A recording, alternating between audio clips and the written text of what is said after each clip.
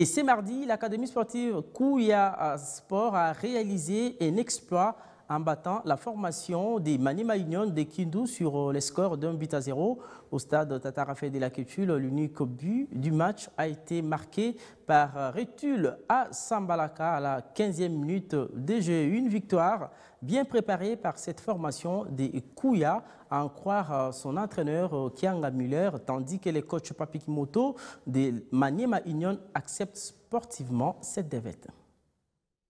Mais je disais déjà dans euh, mon, la conférence de presse, ça devrait être un grand match. On sait connaître le niveau des entraîneurs.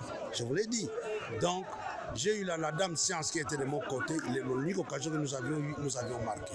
Ils n'ont pas eu l'occasion de marquer. Et c'est un grand match. J'ai respecté mon adversaire, je les respecte aussi. Donc c'est une grande équipe. Vraiment, je suis très satisfait de cette résultat. C'est vrai, L'équipe était préparée en conséquence dans toutes les postes.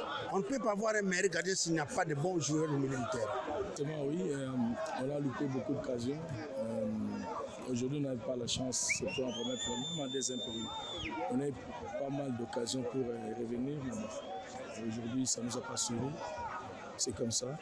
C'est le football. Il faut accepter sportivement cette défaite pour bien répartir devant c'est un championnat, c'est un championnat, c'est un marathon. Ça devait arriver, ça a arrivé, c'est bien. Au bon moment, on doit vite remobiliser les, les troupes pour euh, aller chercher déjà les trois points à Goma. On s'est créé beaucoup d'occasions, mais on ne concrétise pas. C'est pour ça que j'ai voulu mettre la chance d'un côté pour jouer avec les avances. On on beaucoup d'occasions, on s'est créé beaucoup d'occasions. On n'a pas eu la chance aujourd'hui, c'est comme ça le football. Il faut accepter sportivement, aller travailler.